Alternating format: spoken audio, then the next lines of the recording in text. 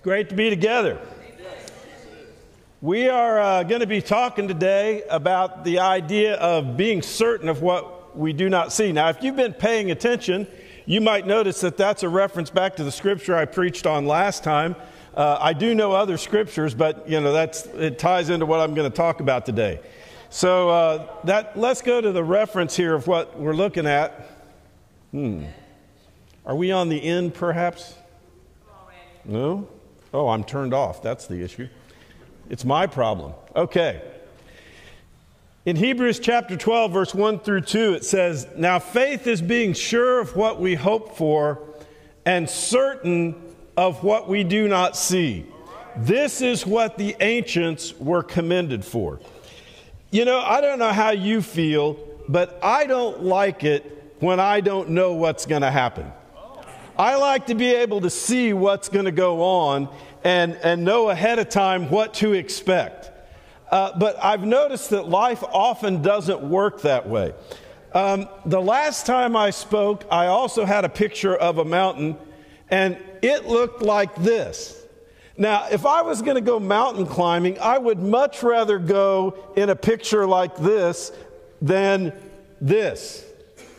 Because this one, I don't know where I'm going or what's happening. The other one, I could stand down there with a pair of binoculars and look the mountain over and kind of figure out, okay, I'm going to go up that way and I'm going to go up that way. Not that my knees would work anyway, but you know, that's my plan. I can see, but this mountain's mysterious. I, you know, I'm not sure I like that very much. And that represents a lot of times what's happening in our life, doesn't it? Amen. So that's what we're going to talk about today is having a faith that allows us to be certain of what we do not see. Here's what we're going to cover. What is it that they or we can't see? Um, that was my biggest surprise takeaway when I was studying for this is I learned that some of what I had always assumed about this verse was not true. And so we're going to talk about that a little bit. Uh, we're going to talk about the idea of faith or trust and hope and our calling. Um, now, those are all nice words that we like, uh, but oftentimes they're not what we expect. So we'll talk about that a little bit. Most of our time, we're going to talk about what it means to trust or have faith in real life, because I think we're often challenged in our faith and in our trust. And so we're going to look at some key things that will help us to continue to have faith uh, in the face of difficulty. So that's our plan for the day. So let's jump in and talk about what it was that they couldn't see. Here's the way I've always thought about this, this phrase or this verse in the past. When I, when I looked at and thought about the idea of being certain of what we do not see, I automatically went to the things that I would consider universal things. You know, God. I, I don't see God physically, uh, and so I have to have faith to believe in God, right? Uh, I've not been to heaven. Uh, but my, you know, a lot of my life is lived around the idea of trying to get there. That takes faith. And, and, so those things are real. I mean, I think that, that this verse applies to those things. You know, I would like the world to make sense. They had the same problem. You wouldn't believe the stuff they went through in their world. I mean, they had they had persecution, they had difficulty, they had government that didn't make any sense, there was cruelty, uh, there was injustice. Uh, you know, there were people who were bad people that were, were getting away with stuff, and people who were good people that were suffering. They had all these things going on in their world. I'm glad we don't have to deal with any of that stuff in our life. But they wanted the world to make sense just like we want it to make sense. Good luck with that. Um, you know, those are universal things that I think require faith. Interestingly, I don't think that's what Hebrews 11 is really talking about. Um, you know, in Hebrews chapter 11, we can, you know, we can turn over there. Uh, we're not going to read the chapter. We did that last time. But if you look at Hebrews chapter 11, the things that they could not see that they had to have faith about was what God had called them to. And it's different for different ones of them. You know, Abraham was told, Leave your country and go to another place that I'll show you. And I'm going to give you that place. I'm going to make you a great nation. And yet, Abraham didn't have the dirt and he didn't have the offspring, and so he couldn't see that. He could only see that through faith. God goes to Moses and he says to Moses, Okay, here's what I want you to do. I want you to go deliver the people of Egypt or the Israel from Egypt. You're going to take them out of Egypt and you're going to lead them to the promised land. I, I, guarantee you, Moses didn't see that. In fact, he told God repeatedly, I don't know how that's going to happen. I'm not the right guy. Send somebody else. Finally, after interacting with God, he developed a faith that allowed him to be certain of what he could not see.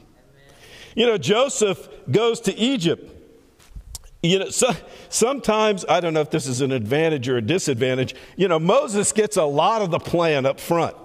You know, Moses gets told, okay, you're going to go to Egypt, you're going to confront Pharaoh, you're going to lead them out, you're going to lead them to the promised land. Uh, you know, that's, maybe that's too much information. Joseph doesn't know what's going on most of the time. He's in Egypt, he, goes, he gets sold into slavery, he gets, he gets put in jail, he goes through all of this stuff. And he has to make his way step by step. It's not until the end that he figures out what's going on and he says, Look, you guys intended to harm me, but God intended to do good. And he saves the nation. He builds, he helps Israel become a great nation in captivity to prepare the stage for Moses later. All of these things that they were called to are the things that they couldn't see that Hebrews 11 is talking about. you know, ironically, we talk about, well, when I say certain of what I do not see, I'm talking about God. Some of them actually saw God. they just didn't see the plan all the time. Uh, and, and so that's what they were dealing with. Um, they had these specific callings that required faith, and that's what they were commended for having. You know, in the, in the New Testament, the followers of Jesus were not given a blueprint. Now, we go back and read what they did, and we try to use what they did as a blueprint. We say, okay, well, they did this, this, and this, so we got to do it that way. And, you know, they had this plan, and they went about this this way, and they, they set up these people to do this job. And, you know, it looks really organized from our perspective because it's already happened. But they were figuring it out as they went. They didn't, they didn't have a blueprint, they had a heading and a relationship. God said, Go this way and walk with me, and I'll give you the details as you need them as you go along. That's the way it worked. But they couldn't see what was happening most of the time. What is it that we can't see? When we talk about being certain of what we do not see, what are we talking about? Well, it could be a lot of things. I mean, it's still those universal things. We still need faith to see, to, to be certain of God and heaven and try to make sense of the world. Those haven't changed. Um, but it's not the same for all of us because our obstacles are different. Um, you know, the, some of us have different challenges. Marriage is a challenge for a lot of people. A lot of people look at their life and they cannot see how they're going to have a great marriage. I read an interesting article uh, a couple of weeks ago uh, that was really pretty surprising to me. In this article, it talked about something called gray divorce. Gray divorce. Now, you might figure out what that means. It's talking about divorce in older couples. The divorce rate in people over 50 has doubled in the last 10 years. It's tripled for people over 60. That's shocking. You know, I'm, I'm, you know, going all that way and getting to that point in your life and then throwing the towel in. Why does that happen? Because people haven't figured out how to have great marriages. Now, I mean, I think some people have great marriages, and I'm glad for them. And you know, I mean, I love I love being married to Betsy. Um, so you know, that's that's awesome. But a lot of people struggle with that. They can't see that, and they need faith to get there. You know, we, we want our children to flourish, both in life and spiritually. And uh, that's a challenge sometimes. You know, sometimes people despair, they're not sure what to do. They don't know how to move forward to help their children. It's something they can't see. They need faith uh, to, to get there. Uh, sometimes, sometimes uh, I'll give you a, a, clue. Sometimes children are trying to figure out their parents too. Um, yeah, parents can be confusing, um, but uh, you know we that whole family dynamic can be really difficult, and it requires faith. Um, it's funny, I had these points, and every, all during the service, I'm sitting there and things are happening in the service. I say, well, you know, that fits right into this point or that point. You know, I think that we want to see the church grow and do well and see people become disciples. You know, and then Randy gets up there and shows a picture of, you know, this room being much more full. But not just having people in the seats. I mean, I think we want to have the ability to help others. And sometimes we're stymied and we're trying to figure out how do we, how do we make that happen? How, do, how does that, how do we make that work in our, in our lives? We don't see it. We need faith to get there. I think you'll notice a theme in all of these different things. I think relationships are difficult for us. And I think that I think that as I look at the world around us, relationships are becoming more difficult, not easier. It's, it's remarkable that when we live in a world that we have the ability to be more connected than ever, or so we think, that people feel more alone than they've ever felt in their marriages, in their families, and in their friendships. I think people desperately need genuine friendships. But we're somehow losing our ability to cultivate those and nurture those and have them, have them grow the way that they need to. And lastly, we need a, you know, we need a close relationship with our Creator.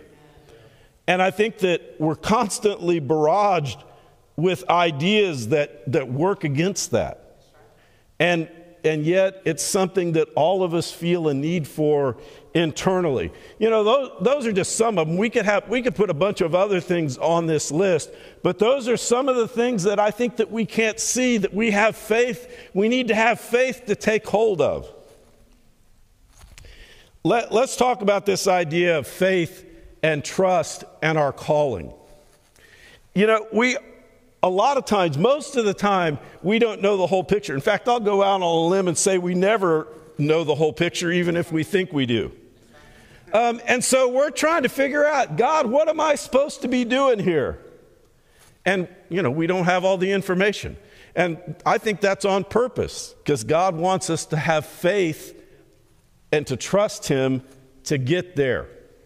Um, here, here's the thing neither did our faith heroes that we read about in the Bible. You know, you go back to Hebrews 11, we're not, you know, we're going to read there, but when you read through Hebrews chapter 11, what you figure out pretty quickly is most of the time they didn't know what was going on. I mean, even if they had been given a specific job, um, you know, you, you, they didn't always know what was happening.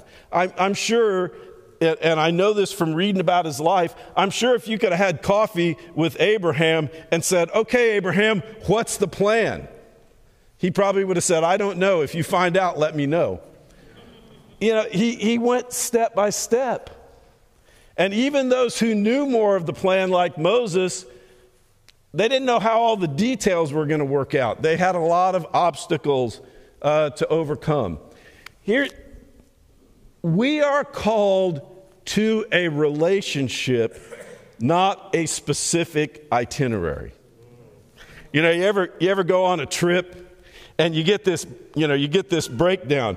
Um, you know, Betsy and I like to go on cruises, you know, and so they give you this, they give you this planner thing, you know, and they show day one, day two, day three, and, and they, you know, they tell you what to do, and you can schedule these little trips, you know, that you go on when you go ashore, and they charge you too much money for them, and you know, I mean, you got all this stuff, and so it comes out, uh, it comes out, they slide this thing under your door in the morning or they put it on your phone now. They're, they're getting away from the thing they slide under the door. Uh, but they, they give it to you every day, and here's your itinerary for the day. You know, you got this time, you got this event, and this time you got that event, and this event, and you're going ashore here, and you're doing this and doing that, and you got to be back on the ship by this time, or we're going to leave you. I mean, you know, they give you the whole thing. I think sometimes we want our Christianity to work that way. You know what really makes going on a cruise fun, why we enjoy it? It's the company you're with. I, you know, I don't, I enjoy the, the itinerary, especially trivia. But, you know, I mean, the main thing is I'm with her. That's what matters. And in life, what matters is that we're with God. And that we're, then we work it out from there. Um, you know, God gives us the details when we need them. Turn over to Philippians, or you can read it on the screen, either one. This is a fascinating verse to me. This is the Apostle Paul. Okay, so we're, we're dealing with a guy who's got a direct connection who, you know, you, you hear sometimes people talking about when they became a Christian and they say, oh, who studied the Bible with you? Oh, well, you know, it was, it was, you know, it was JP or it was this person or that person. You know, you ask Paul, who studied the Bible with you? Jesus. Yeah.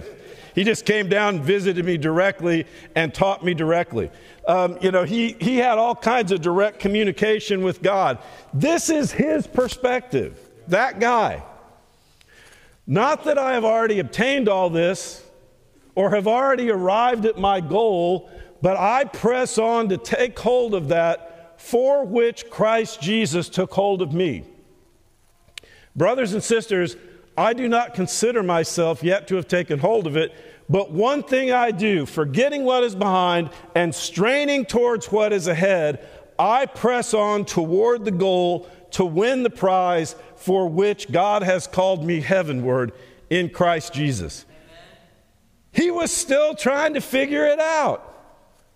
He said, Well, God took hold of me for some reason. I haven't quite figured out what it is, but I'm pressing on to try to take hold of whatever that thing is. And I know what direction it's in. It's in the direction towards heaven. But what I'm doing is I'm, I'm working and applying effort to take hold of it because I haven't got it yet. You know, that's, that's the way it works. You know, a lot of these, a lot of these circumstances that we're talking about, the people that we admire didn't have it right.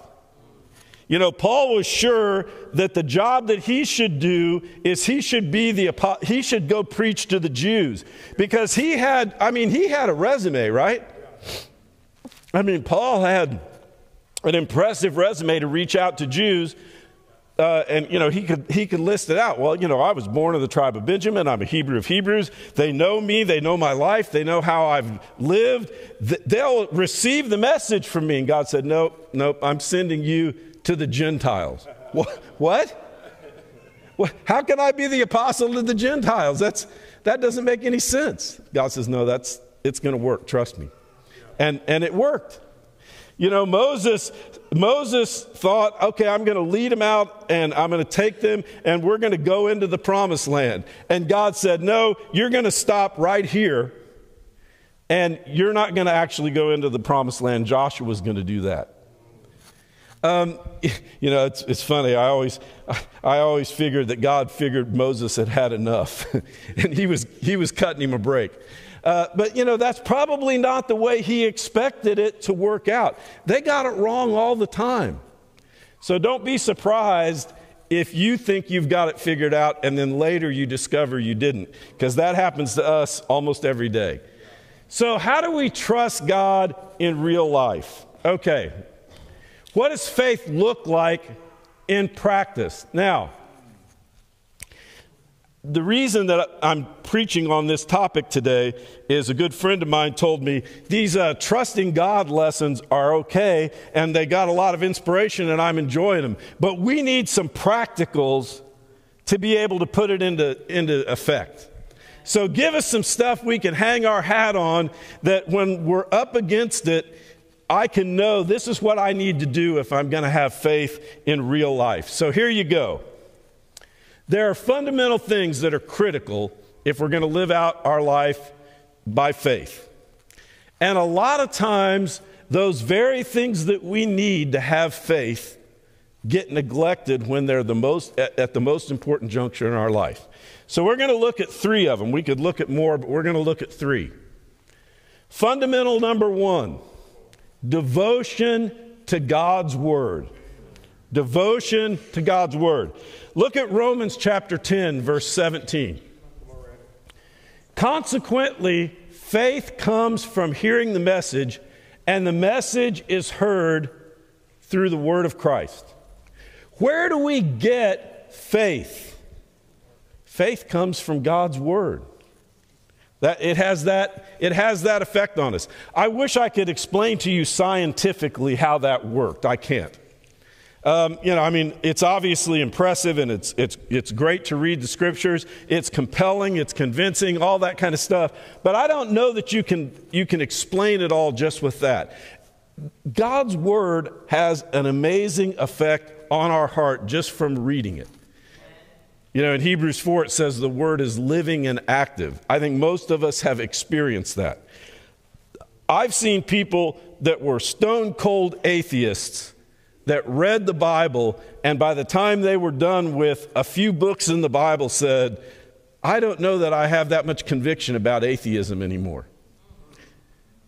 I'm going to read more. And some of those people, some of you sitting in this room, started out being atheists and you read the Bible, and somehow or other you, you said, I, am not an atheist anymore. I believe in God. Tell me what I need to do to be a disciple. It just happens. That's where faith comes from, is the Word of God.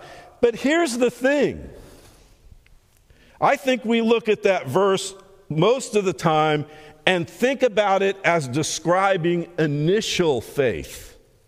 Well, that's how you get enough faith that you can become a disciple, is from the Word of God.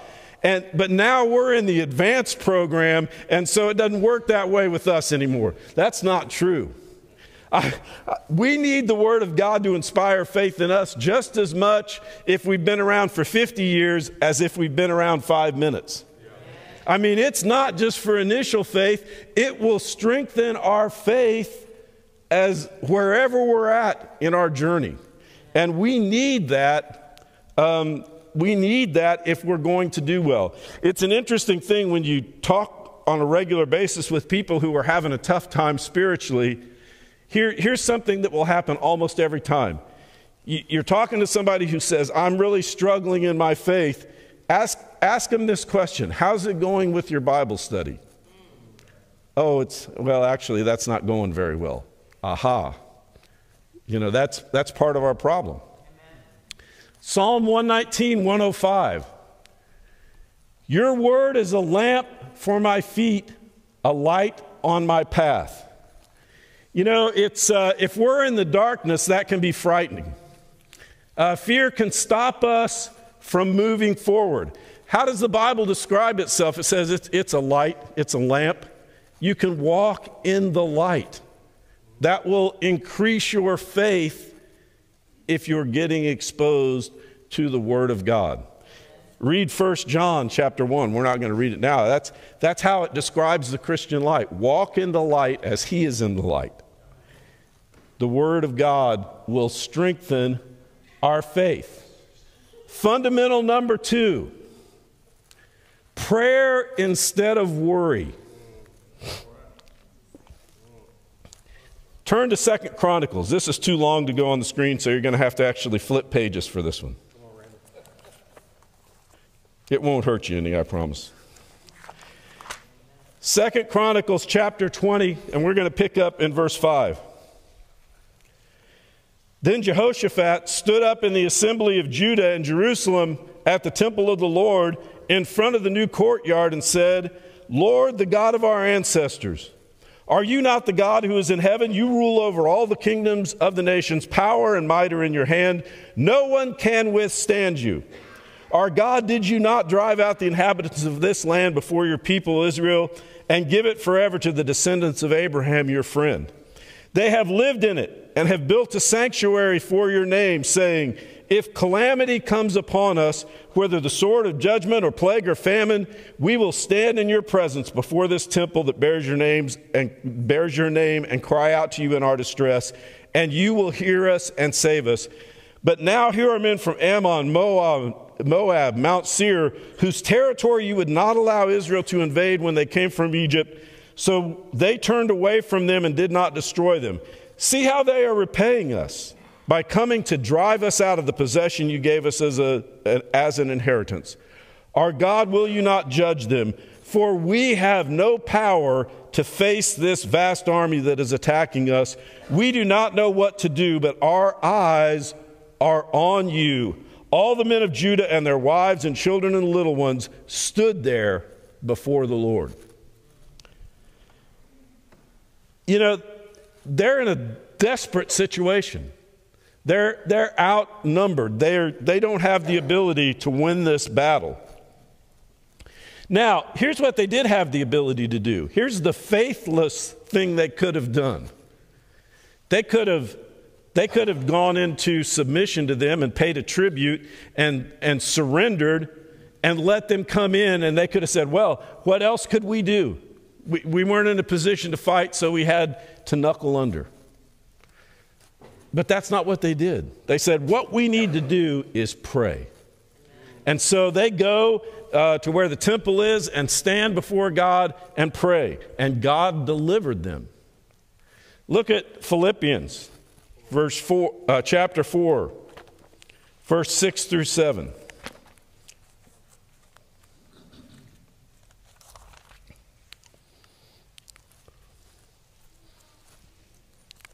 This is uh, one of those preacher verses.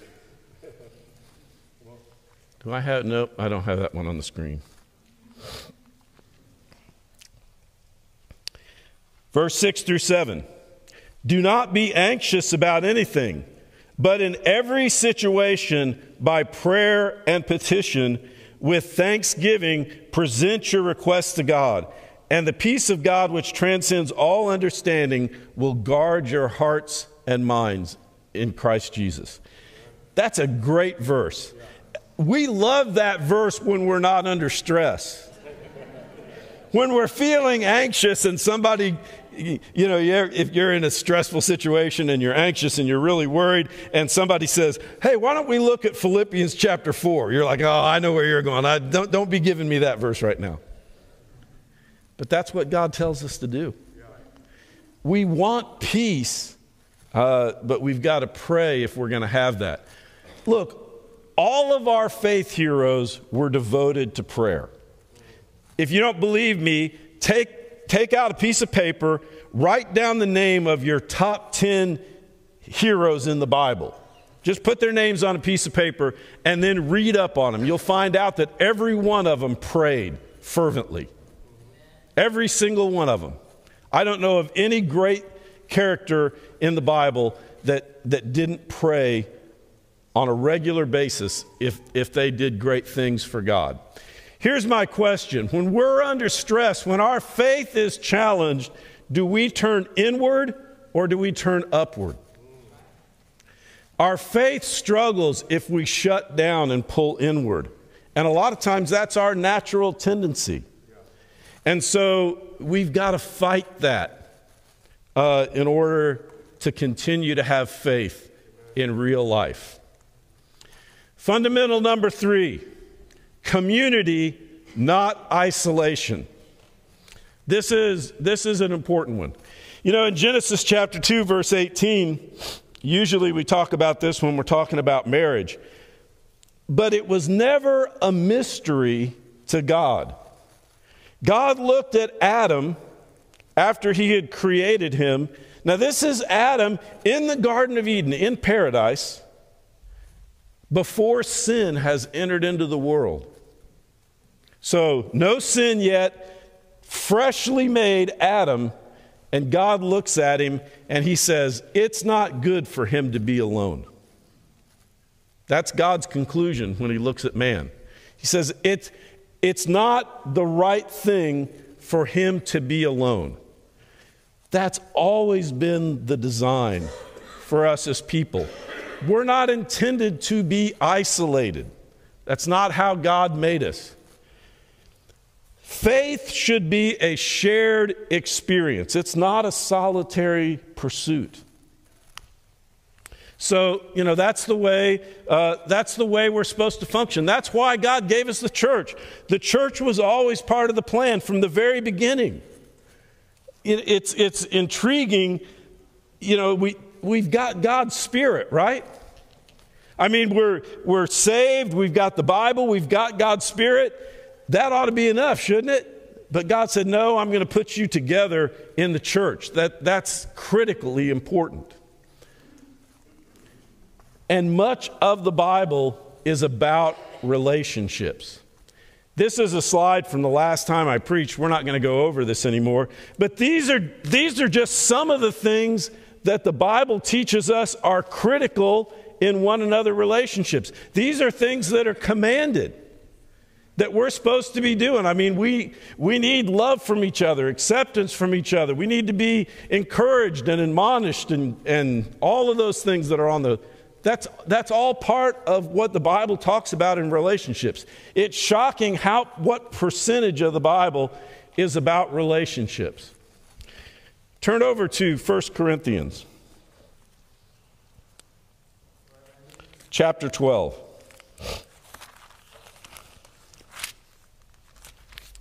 We're winding down here. 1 Corinthians chapter 12. And Paul here talks about the church. We'll pick up in verse 12. It says, Just as the body, though one, has many parts, but all of its parts form one body, so it is with Christ.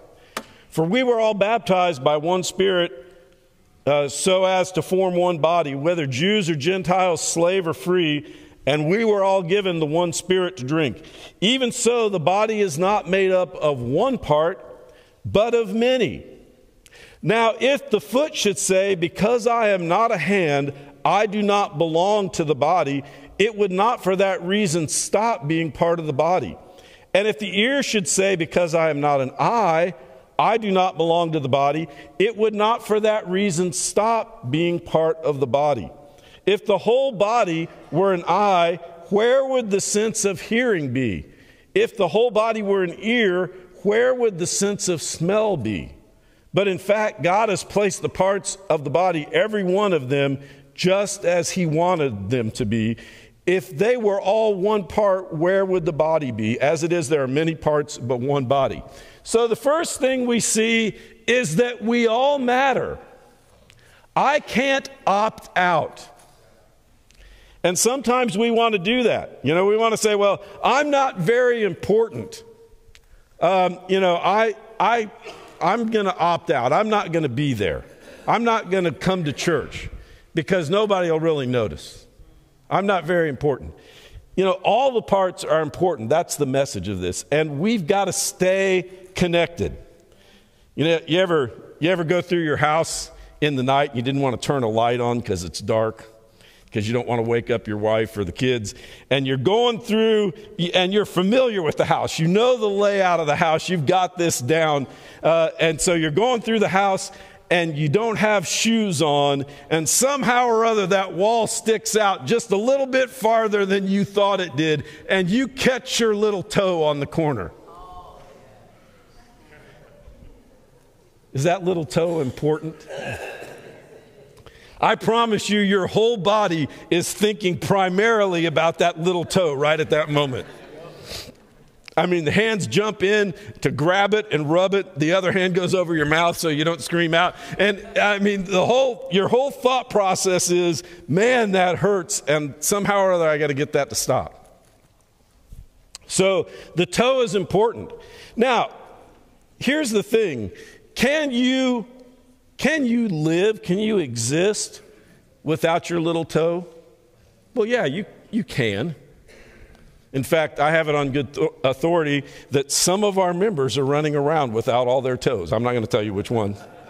But, you know, there are some of them floating around in here that don't, don't have 10 toes. So, yes, you can exist, but you won't be all that you could be. So it is with us. But here's the flip side of that, that maybe is the more important point. The body can exist without the little toe, but how's the little toe going to do without the body? That's not going to work. You know, you, you don't see toes wandering around by themselves in the wild. That just doesn't happen. Uh, there's a serious point behind that. You know, a lot of times, a lot of times we look at how important we are to the body and we fail to look at how important the body is to us. You're, we're going to struggle spiritually if we're not connected, and we're not going to do well. Let's read on a little bit. Verse 21 The eye cannot say to the hand, I don't need you, and the head cannot say to the feet, I don't need you. On the contrary, those parts of the body that seem to be weaker are indispensable, and the parts we think are less honorable we treat with special honor, and the parts that are unpresentable are treated with special modesty, while our presentable parts need no special treatment. God has put the body together giving greater honor to the parts that lacked it, so that there should be no division in the body, but all of its parts should have equal concern for each other. If one part suffers, every part suffers with it. If one part is honored, every part rejoices with it. Now you are the body of Christ, and each one of you is a part of it. Um, you know, we're all important. I can't say I don't need you, and you can't opt out. Here is the modern reality that we're dealing with we are losing community in the church. That's just, that's just the truth. We're losing community because some people, a lot of times people are, are opting out, or we're not, we're not tending to each other the way that we need to. Um, you know, look, I think it's a great thing that we have, we have the live stream thing that we can use. You know, there are people who are, are sick or can't be here because of health reasons. There are people who are out of town for some reason. That, you know, there are a number of circumstances where that, that gives us a connection uh, that we wouldn't have otherwise. And so I'm, I'm glad we have it. You know, I've utilized it. You know, not too uh, a month and a half ago, I had COVID, and there I was at home. But I was with you remotely because that was the only way I could do it. So I'm glad that we have it for those circumstances. Um, but a lot of times, because we have it, people choose not to be here that could be here. We are making a mistake spiritually if we choose to not connect with the body when we can. Look, I'm not trying to make anybody feel guilty, and, and some, I, I hesitate to say stuff like this sometimes because I don't want a person who is doing that for good reasons to feel all, you know, all worked up and guilty about it. That's not my point. My point is there's a lot of us that could be here that aren't. And, you know, we've got to search our own heart and think about that. You know, that's true on Sunday. On Wednesday night, that's really true. Um, you know, this room normally does not look like this on Wednesday night. Now, some, some people who are here aren't going to be in town on Wednesday. I get that. You know, you're passing through. I'm glad you're here. But a lot of us are not here on Wednesdays out of choice. When we lose community, our faith weakens. Let, let, me, let me put it to you this way Church on Wednesday night lasts about an hour. Um, you know, it lasts about an hour. We try to keep it to that out of sensitivity to people. You know, it, we, come, we come into town to shop. We come into town to go to an event, either a sporting event or some other event. We, you know, we come into a ta- we come into town to go to dinner during the course of the week sometimes, or you know, whatever it is we do. You look at look at life and the pattern of life. Are we are we willing to make that sacrifice for other things, but aren't willing to make that sacrifice uh, to to be at church? I think we have to think about that at a heart level if we're not going to lose community. You know, I, I, you know, sometimes people say, well, you know, I don't drive at night. And I get that. You know, some of us don't need to be driving at night, so I understand that. If I was telling the truth, some of us probably don't need to be driving during the day. Uh, but that's, that's a different sermon. But, you know, I mean, find somebody who is driving at night and say, hey, could you come pick me up and take me to church? Because I don't drive at night. my, my friend Alan Lyerly doesn't drive day or night. And yet, how often is he not here? And wouldn't you know, I'm calling him out and he's not here today because there was a snafu with his ride. Um, but, you know, he's here all the time. He makes arrangements to be here because it's important to him to be here. Um, it's important to all of us. We need time together. We need to see each other. Again, I'm not, I'm not trying to make people feel bad for utilizing the technology when it makes it's the right choice because of whatever. But we, I think we have to evaluate our own hearts and say, Am I allowing myself to lose community in a way that's hurting me spiritually? It, it happens. And so we need to think about that. Um, but regard, beyond that, the relationships we have with each other strengthen and buttress our faith. So, just to kind of wrap up, if we're going to have faith that works, we first of all have to walk with God. We have to pay attention to our relationship to God, not just our prayer and Bible study, but that heart level relationship that we have with God. We need to find out what God is calling us to, and we need to follow that. We need to be devoted to His Word and to prayer. And lastly, we need to stay connected with our brothers and sisters because that will help our faith. All of these things, I promise you, if your faith is struggling, Satan is going to go after these areas to try to weaken your faith and hurt you spiritually. And he'll do the same thing to me. So we've got to fight for these things. I want to close out with this verse.